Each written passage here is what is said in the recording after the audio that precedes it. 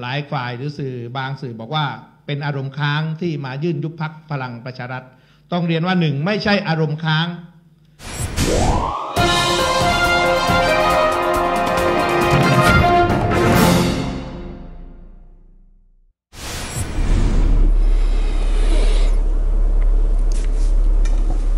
สวัสดีครับ มาพบกับผมเทอศักดิ์จิมกิจพัฒนาครับ วันนี้ก็สวัสดีหุ้นส่วนนะครับ ที่รับชมทั้งทาง Facebook รับชมทั้งทาง YouTube รับชมจากนอกในประเทศ วันนี้ประเด็นที่น่าสนใจครับ ก็คงจะเป็นประเด็นเกี่ยวกับเรื่องม็อบนะครับวันนี้ก็มีการเคลื่อนไหวทางการเมืองนะครับมีการไปเขาเรียกว่าเดินทะลุฟ้า แล้วก็ไปที่ทำเนียบรัฐบาลอีกกลุ่มหนึ่งก็เป็นกลุ่มคนเสื้อแดงฮะก็อ้างว่าอาชีวะเสื้อแดงก็ลุกคือขึ้นมา แล้วก็ไปที่นุสาวรีย์ประชาธิปไตย เดินไปที่ทำเนียบรัฐบาลเหมือนกันเห็นไหมนะไปดูในเชิงปรากฏการณ์ก่อนนะเดี๋ยวมาว่ากันในเรื่องของงานวิเคราะห์ และเข้าสู่กระบวนการสังเคราะห์กัน เรื่องนี้เป็นความจงใจอย่างชัดเจน เพราะการแถลงข่าวต้องมีการเตรียมการเตรียมตัวเตรียมข้อมูลมาแถลงข่าว ไม่ใช่การปราศัยหาเสียงที่ในลักษณะกรอนพาไป ซึ่งพอจะอนุโลมได้ แต่ว่าการแถลงข่าวถือว่าได้เตรียมข้อมูลข้อเท็จจริง จะบอกว่าเข้าใจผิดคลาดเคลื่อนในข้อเท็จจริงเนี่ยเป็นเรื่องที่ปฏิเสธไม่ได้พันผมต้องเรียนว่า การกระทำดังกล่าวที่ผมยื่นต่อคณะกรรมการเลือกตั้ง ไม่ได้เหตุผลเพราะอารมณ์ค้างจากการเลือกตั้งนะครับ หลายฝ่ายหรือสื่อบางสื่อบอกว่าเป็นอารมณ์ค้างที่มายื่นยุบพักพลังประชารัฐ ต้องเรียนว่าหนึ่งไม่ใช่อารมณ์ค้าง แต่ต้องการที่จะทำเรื่องนี้ ให้ปรากฏความเป็นจริงเกิดขึ้นสองเรื่องนี้ผมเคยสัมภาษณ์ ในระหว่าง หาเสียงเลือกตั้งแล้วนะครับ ว่าจะเสนอให้ฝ่ายกฎหมายพิจารณา และตั้งใจที่จะร้อง ก่อนการเลือกตั้งครับสามก็ จะยื่นตัวเองจะยื่น ผมจะยื่นก่อนนะครับ วันเลือกตั้งก็เกรงว่าจะถูกกล่าวหาว่า ผมยื่นเพื่อต้องการทำลายคะแนนเสียงของคู่แข่ง เพื่อหวังผลการเมือง ผมเลยไม่ได้ยื่นในระหว่างก่อนการเลือกตั้ง หลังจากเลือกตั้งแล้ว ตอนแรกตั้งใจว่าจะยื่น แต่ก็เกรงว่าจะถูกข้อหาว่าขี้แพ้ชวนตี หรือขัดขวางการรับรองผลการเลือกตั้งของผู้สมัครพรรคพลังประชารัฐ ก็เลยไม่ยื่น แต่ว่าวันนี้นะครับ แต่ว่าวันนี้เนี่ยกกตรับรองนะครับ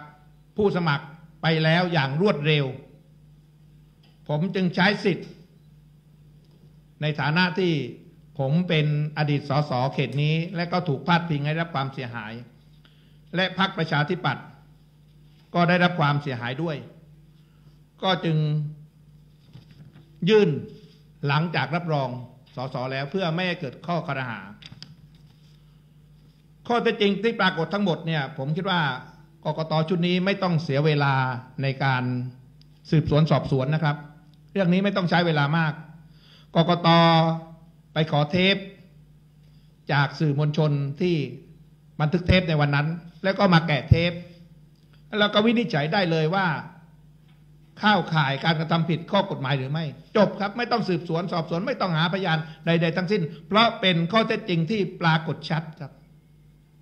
ผมก็คาดหวังนะครับ กับกกตชุดนี้ว่าจะทำเรื่องนี้ให้เป็นแบบอย่าง ให้มันถูกต้องตรงไปตรงมา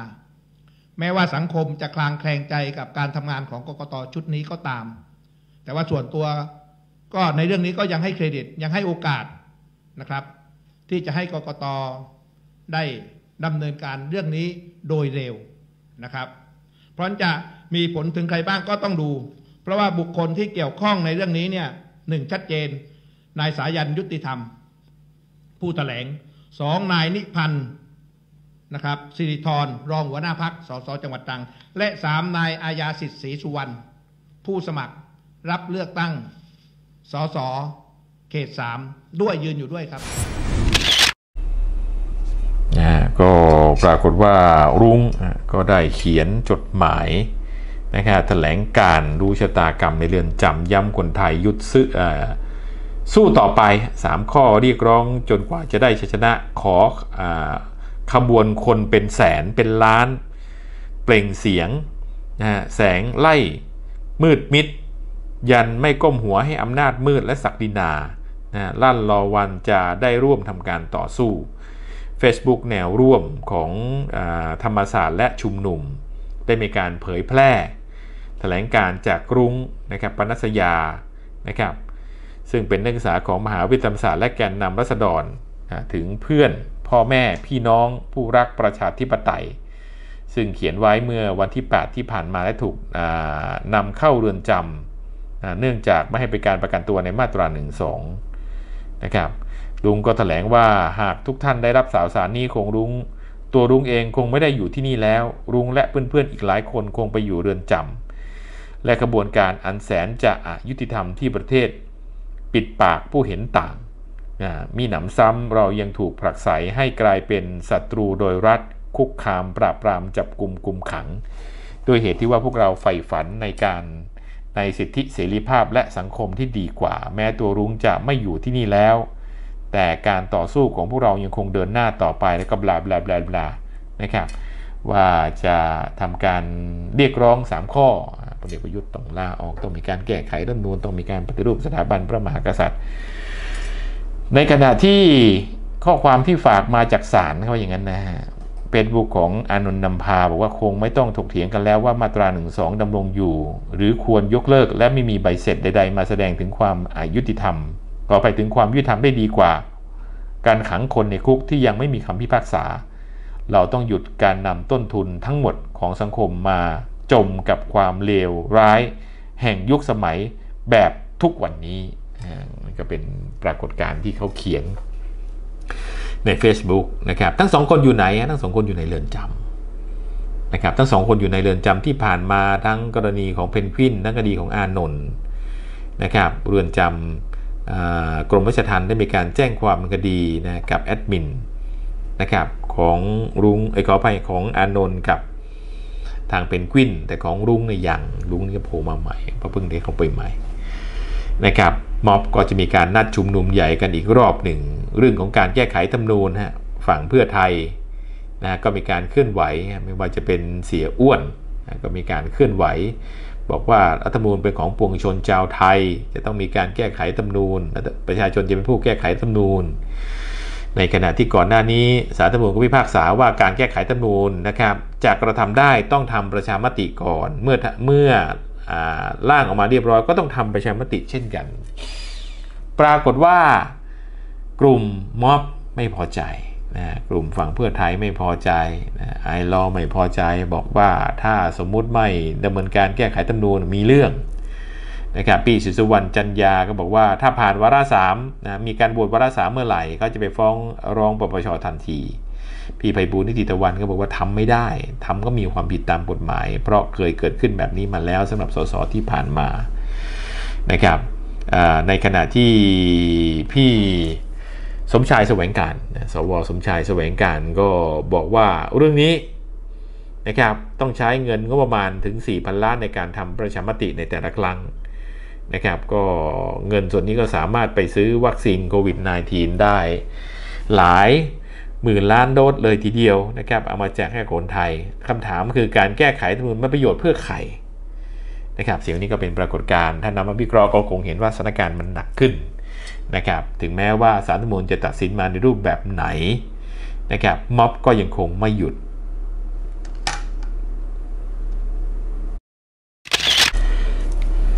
ในเชิงงานสังเคราะห์เราคงเห็นงานยุทธศาสตร์นะครับในแลบงานยุทธวิธีที่เขากำลังเดินอยู่คือมุ่งหน้าไปที่ทำเนียบรัฐบาลเป็นสำคัญคุณส่วนจำได้ไหมฮะผมเคยเรียนไว้เนี่ยม็อบมีไว้เนี่ยมีอยู่สามที่นะหนึ่งทำเนียบเป็นหลักสองสภาสามสถานที่ประชุม จะมีสามจุดนั่นนะที่เดินทำ วนไปวนมาก็ไปเนี่ยเต็มที่ก็มีที่ศาลนะก็จะมีสามสี่ส่วนเนี่ยนะก็จะไปที่ศาลการเดินทัพแบบนี้เกิดขึ้นมาก่อนในสมัยของกลเสื้อแดงในเชิงหลักวิชาการไปดูในเชิงสติก็แบบเนี้ยสี่จุดนะครับที่เขาเดิมจะกระจงกระจังกระจายดาวกระจายอะไรนะบอกว่าเดินทะลุฟ้านะตอนนี้ก็จะมีอะไรนะ พิษบงพิษบูอะไรไปเดินด้วยไอ้พวกที่เดินเดินเขาวที่แล้วเนี่ยไผ่ดาวดงไผ่ดาวดินเนี่ยถ้าเดินทะลุทะลุอยู่ในคุกกันหมดละนะครับไม่รู้ว่าใครจะไปเป็นแกนนำนี่มันจะทะลุไปอยู่ในคุกจริงด้วยนะเดี๋ยวก็คอยดูแล้วกันนะครับสถานการณ์จนถึงกันนี้เป็นยังไงบ้าง ในเชิงยุทธศาสตร์ทางการเมืองตอนนี้เขาเรียกว่าเป็นการก่อกวน เป็นการกวนเกมเป็นการเร่งปฏิกิริยาทางการเมืองเพื่อไปล้อมทำเนียบรัฐบาลจะสามารถทำทำอะไรรัฐบาลได้ไหมไม่ได้ ทำเป็นการอะไรดิสเครดิตไปเรื่อยๆ ลดความน่าเชื่อถือไปเรื่อยม็อบกำลังจะตายด้วยความจริงม็อบมันก็แผ่วลงแผ่วลงแผ่วลงเรื่อยนะไปปิดถนนคนก็ไม่ให้ปิดคนก็ไม่สนใจนะเจ้าที่ก็เฉยๆไปเตรียมกำลังป้องกัน ไม่ใช้ความรุนแรงไม่ปะทะไม่ขวัดขวางไม่สกัดแรงนั่นนะสื่อมวลชนให้ความสำคัญน้อยลงน้อยลงน้อยลงเรื่อยๆ เห็นไหมฮะในเชิงงานสังเคราะห์ผมเคยเรียนไว้นะ บอกว่า กลยุทธ์ดาวกระจาย ตอนนี้เขาก็พยายามกลับมาใช้อีก ก็คือต้องการที่จะให้สื่อให้ความสนใจกับม็อบเพื่อที่จะปลุกกระแสขึ้นมาคือสร้างกระแสขึ้นมา เพื่อให้เกิดการชุมนุมมาก ๆ ถ้ารัฐบาลถ้าตำรวจไม่ความสนใจกับม็อบ กระแสเหล่านี้ก็จะไม่เกิดขึ้นไม่มีประโยชน์นะครับเห็นไหมฮะมันก็แผ่วลงอัตโนมัติ ตอนแรกก็ไปสกัดกันมีการปะทะกันพอถึงเวลาเฉยเฉย เฉยเสร็จก็กลุ่มกำลังไว้เฉยอยู่เฉยถึงเวลากระทำความผิดก็แจ้งข้อหาไปตำรวจก็มีการออกมาเตือน ว่าใครกระทำความผิดก็โดนถูกมันคดีตามกฎหมาย มีคนถามผมว่าเมื่อไหร่ยุทธการไตลงจะใช้สักทีเนี่ยแกนนำก็ออกมาพูดมาโพสต์ข้อความตอนนี้นะทางกรมราชทัณฑ์ก็ต้องดำเนินการแจ้งข้อกล่าวหากระทรวงยุติธรรมต้องแจ้งข้อกล่าวหากับคงเพิ่มอีกรายนี้ไม่พ้น นะครับเรื่องของรุ้งอะเขาเนี่ยนะมีการออกแถลงการอยู่ในเรือนจำแล้วเขาจะโพสก่อนโพสหลังเนี่ยนะก็เป็นเรื่องราวนะที่เขาเรียกว่า ทางกรมราชทัณฑ์ซึ่งในนามของรัฐบาลต้องเป็นผู้ดำเนินการ เกมจะเป็นยังไงในระหว่างนี้เขากำลังเร่งเกมเข้าสู่วันที่ 6 เมษายนผมย้ำนะในเชิงการผมย้ำย้ำย้ำย้ำย้ำเขาเร่งเกมเข้าสู่วันที่ 6 เมษายน และสิ่งที่เราเห็นวันนี้ จากม็อบเสื้อส้มแบบม็อบเยาวชนม็อบเยาวชนแผ่วลงแผ่วลงแผ่วลงเรื่อยๆ แต่สิ่งที่เราเห็นตอนนี้ก็คือว่าเสื้อแดงโผล่ขึ้นมา หลังจากไอ้แมวและครอบครัวโผล่ขึ้นมาในโซเชียลมีเดียผมเคยเรียนหุ้นส่วนไว้ว่าตัวละครตัวสุดท้ายจะโผล่มา วันนี้คงเห็นตัวละครตัวสุดท้าย และทัพของพวกเขาโผล่มาเรื่อยๆ ทัพของพวกเขานั้นนะฮะโผล่มาถึงที่สุดหรือยังยังยังไม่ถึงที่สุด นะครับพอยังไม่ถึงที่สุดสถานการณ์จะเป็นยังไงมันจะงวดและวุ่นวายไปเรื่อยๆ การงวดและวุ่นวายไปเรื่อยๆ นั้นนะครับสถานการณ์มันก็จะแย่ลงนะครับมีคนถามว่ายุทธการไตลงจะจัดการได้หรือเปล่า ในเชิงยุทธศาสตร์ทางการเมืองก็คอยดูแล้วกันเราผู้ชมนะครับยังไงก็หนีไม่พ้นเนี่ยจะก่อนวันที่ 6 เมษาหลังวันที่ 6 เมษาคือวันจักรีเนี่ย ยังไงเขาก็ต้องเคลียร์จะเคลียร์ก่อนเคลียร์หลังจะจบได้วิธีไหน ยังไงก็ต้องจบด้วยยุทธการไต่ลงนะครับ มันอยู่ที่ผู้ปฏิบัตินะว่าเขาพร้อมจะปฏิบัติหรือเมื่อไหร่ ตอนนี้รู้อยังรู้แล้ว พร้อมยังพร้อมแล้วมอบแผ่วลงยังแผ่วแล้วนะครับ จบไหมไม่จบ มันแผ่วลงแต่มันไม่จบ เพราะคนสั่งการอยู่ต่างประเทศไอ้พวกนี้ก็เป็นตัวเป็นแค่เบี้ยในกระดาษ มาก็กินมาก็กินมาก็กินกินไปเรื่อยกินไปเรื่อยกินไปเรื่อยนะครับแต่ยิ่งกินไปแบบนี้เรื่อยมันจะปะทุความแค้นไปนะสุดท้ายมันจะเกิดความวุ่นวายและประกอบกับรัฐบาลก็กำลังแตกกันเอง ทั้งประชาธิปัตย์ทั้งพลังประชารัฐทั้งประชารัฐก็แตกกันเองอีกนะมันก็กำลังทำสร้างความขัดแย้งเรื่องของข้ารัฐมนตรี ผมเข้าใจนะต้องการอยากจะปรับบางคนเข้ามาเพิ่มเติมแต่มันมันสถานการณ์มันไม่เอื้อมหน่วย มันกลับจะหนักขึ้นกว่าเดิม ในเชิงยุทธศาสตร์การเมืองการปกครองมันเดินผิดนะก็เลยทำให้สถานการณ์มันมาแบบนี้นะต้นเหตุหลักก็มาจากการปล่อยโอ๊กเนี่ยนะส่วนประการที่ 2 ก็คือการกลับพระบาท ประการที่ 3 ก็คือไปนำแกนนำกบสไปเข้าเดินจำเนี่ยเป็นหลักสามประการที่ผิดในช่วงระหว่างนี้ พอผิดในช่วงระหว่างนี้สิ่งที่ทำมาก็คือว่ามันเป็นการเร่งปฏิกิริยาทางการเมืองให้เกิดแตกกันเอง แตกกันเองของฝ่ายเหลืองฝ่ายฟ้ามันแตกกันเอง ฝั่งรัฐบาลเอาไว้ไงมันแตกกันเองนะครับตอนนี้เกมนะทางการเมืองเขายังคงเดินฝ่ายต่อต้านยังคงเดินหลักการก่อกวนอยู่ หลักการก่อกวนแบบนี้ ถ้ารัฐบาลใจร้อนใช้กำลังใช้ความรุนแรงก็จะพลาดนะที่ผ่านมาก็บอกม่อย่าไปใช้เย็นๆหลักก็คือว่าเวลาคนเวลาสู้กันเนี่ย มันสู้ด้วยปัญญา สู้ปัญญาไม่ได้ก็จะใช้กำลังในการต่อสู้ ใจร้อนไปใช้กำลังฝ่ายใดฝ่ายหนึ่ง หรือทั้งสองฝ่ายใช้กำลังผลที่ออกมาจะเป็นเนกาทีฟซัมเกม รู้จักแผ่นดินถิ่นกำเนิด รู้จักเทิดองค์กษัตริย์ของรัฐา รู้จักคำสั่งสอนขององค์พระศาสดา จงรู้ซึ้งคำว่าราชาธิปไตย ขอบคุณที่บอกต่อ ขอบคุณที่แชร์ต่อ ขอบคุณที่เล่าต่อ ขอบคุณที่ร่วมสนับสนุนสถานี ขอบคุณที่ร่วมกันทำความดีเพื่อความดี ผมเทิดศักดิ์เทีมกิจวัฒนา สวัสดีครับ อย่าลืมกด subscribe และกดกระดิ่งด้วยนะคะ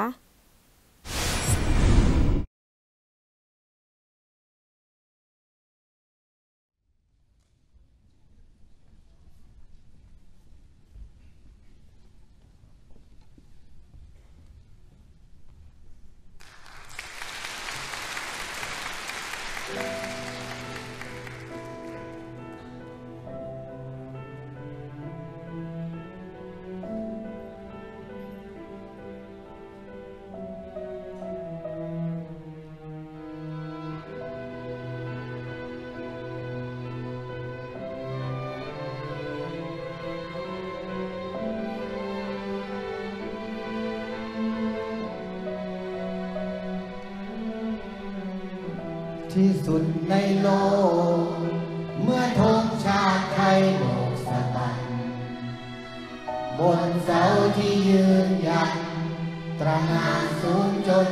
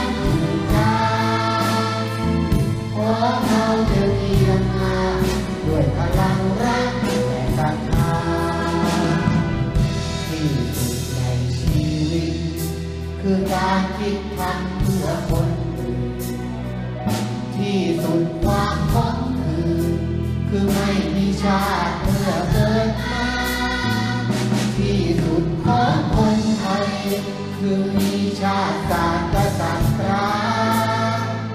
ที่สุดแห่งปัญญา คือการเมตตาและอภั